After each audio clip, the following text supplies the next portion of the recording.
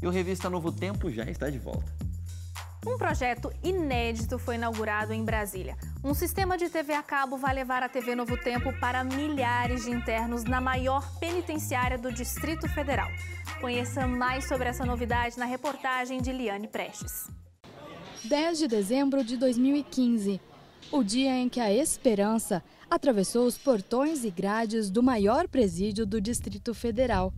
A partir desta data, milhares de presos que cumprem pena no complexo da Papuda passarão a ter acesso à programação da TV Novo Tempo em suas celas.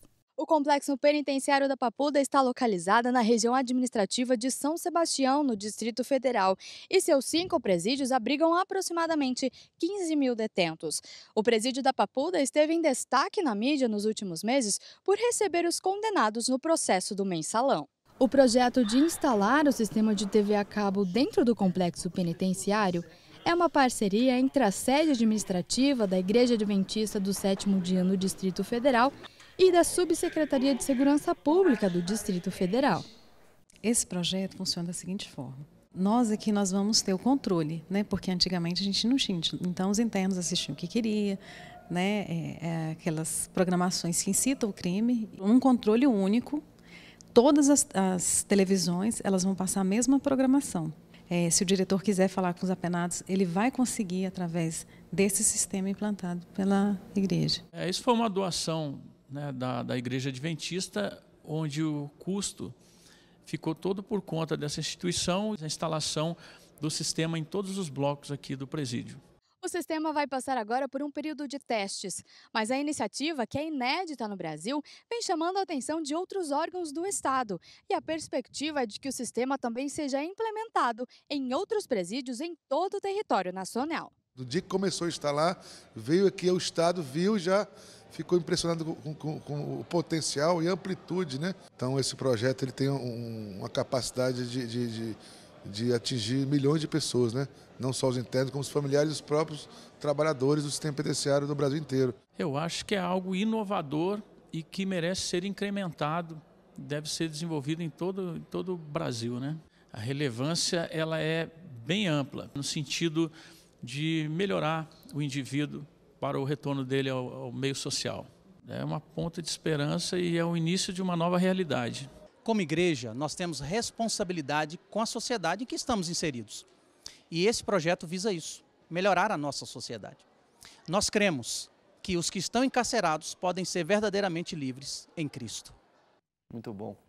E a Igreja Adventista Central de Curitiba completa um centenário. Durante todo esse tempo, muitas histórias, conquistas e também grande influência foram reunidas. Conheça um pouco dessa trajetória na reportagem de Jéssica Guidolin.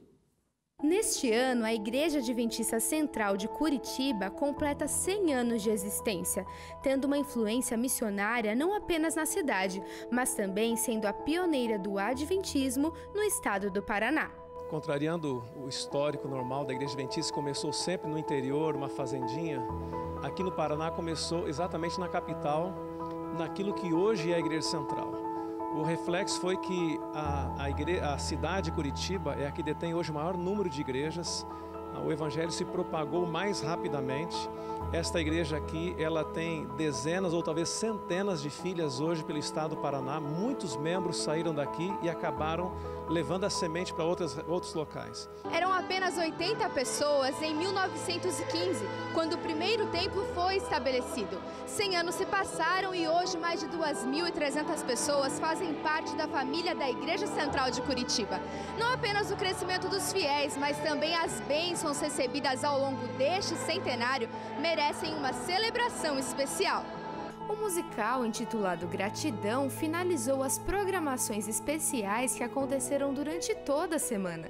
Foi uma verdadeira festa de louvor com a igreja lotada de pessoas. É, não tem como fazer isso daqui por vontade própria. Ou Deus está no comando, ou não vai sair nada, não, nada disso teria acontecido. Então, olhar para os 100 anos da história é ver a mão de Deus se manifestando cada momento, é isso que a gente tentou transmitir nesses momentos aqui.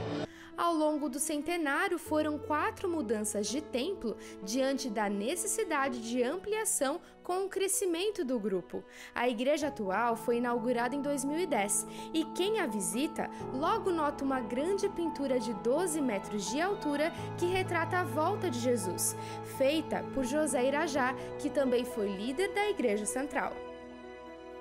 Foram 40 dias e 40 noites é, os dias pintando e as noites orando e meditando e pensando e pedindo a Deus. Apesar da evolução e adaptação durante os anos, o desejo é não haver mais mudanças e muito menos uma celebração de aniversário futuramente. E a igreja chegou neste nível, neste momento da história, pregando, testemunhando, mas entendendo que não deseja ficar mais 100 anos aqui. E que assim seja. A rede adventista de educação não para de crescer e essa é realmente uma boa notícia, ainda mais em tempo de crise, né? E mais um colégio acaba de abrir as portas na Bahia, desta vez em Lauro de Freitas, na região metropolitana de Salvador. Com este colégio, agora são 889 unidades de educação adventistas na América do Sul. O prédio chama atenção pela imponência. Quem entra aqui já fica com aquele olhar de admiração diante da beleza do local.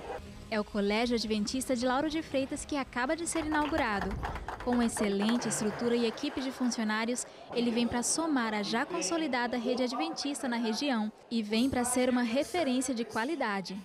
Nós procuramos investir em termos estruturais e também estamos na iminência de ter todo o nosso quadro de professores realmente oferecendo o melhor. A princípio, o colégio vai oferecer turmas do grupo 3 ao nono ano.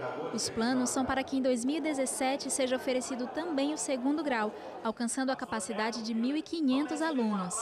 Mesmo antes da inauguração, os números já impressionam. Muitas turmas para o ano letivo de 2016 já estão lotadas. Nós temos hoje 312 mil alunos e na rede educacional na América do Sul. E só aqui, nessa escola que está abrindo as suas portas, já temos 553 alunos matriculados. Felipe foi o primeiro aluno a se matricular e não vê a hora de começarem as aulas. Eu acho que o meu professor vai me dar muitas coisas legais. A ideia era conseguir parceiros na, na educação né, dos nossos filhos é, para ter certeza que eles iriam ter o mesmo tipo de ensinamento que a gente dá em casa. Além do ensino secular, claro que é importante também, mas nós temos boas referências, nós também nos preocupamos com a formação do caráter deles. E nós sabemos que agora é uma, é uma época, é uma fase que eles estão da formação do caráter e nós buscamos no Colégio Adventista um parceiro com relação a isso. A educação adventista, ela não só forma e não só informa, mas ela transforma. Por quê? Porque ela trabalha com a formação do caráter ela trabalha com formação de cidadãos e de pessoas para o bem. Pessoas que vão ajudar outras pessoas e pessoas que vão ajudar a comunidade de maneira completa. A inauguração do Colégio Adventista de Lauro de Freitas é motivo de grande alegria para muita gente que sonhou em ver a educação adventista chegar a essa comunidade. O objetivo principal é realmente apresentar o amor de Jesus para todos os alunos que aqui estarão e, consequentemente, também utilizar da formação integral, quanto físico, mental e espiritual, para que esse aluno não esteja preparado apenas para o ensino médio, para o, vestibular, o Enem, mas para a vida eterna. E já entrando no clima de Natal, estudantes do Colégio Adventista de Londrina realizam sonho de uma dona de casa. Confira a reportagem de Wendy Almeida. Durante este semestre, os alunos do nono ano do Colégio Adventista de Londrina trabalharam com projetos que desenvolveram a solidariedade. E um desses projetos será a realização do sonho da dona Jovina de ter uma casa nova. Tudo começou quando a professora pediu para que os alunos indicassem nomes de pessoas necessitadas para participar da seleção e entrar no projeto. De todos os nomes sugeridos, o grupo deveria escolher uma pessoa para ser beneficiada. E um dia um aluno não veio no, quando a gente apresentou o projeto, eu fui explicar para ele. Quando eu estava explicando, ele falou assim: "Ah, professora, eu tenho uma, uma tia que mora num barraco". Eu ri porque eu não imaginei que fosse um barraco, né? Aí eu falei para ele: "Então, tudo bem, então nos leva nesse lugar". E falei isso, passou quando chegou a tarde, ele, a mãe dele veio com ele no colégio. E aí veio conversar e nós viemos no local e realmente era um barraco. Aí eu falei para ela, falei que minha tia ela tava morando na casa bem, tipo assim, benzinho, acabadinha, Daí que se, se desse para colocar o nome dela lá para para ajudar, né? Daí eu comentei da minha tia dela, catou e achou interessante. Dona Jovina morava em um barraco de madeira destruído por um vendaval no mês de março deste ano e desde lá vem morando de favor na casa de seu irmão. A notícia de que os alunos iriam construir um novo lar encheu o coração da Dona Jovina de esperança. Não tinha esperança nenhuma. Mas graças a Deus o Adventista, o menino da escola, né, me colocou e me ajudou. Um abençoado de Deus. Os alunos arrecadaram 7 mil reais no comércio da cidade para pagar a casa de madeira pré-fabricada de 35 metros quadrados.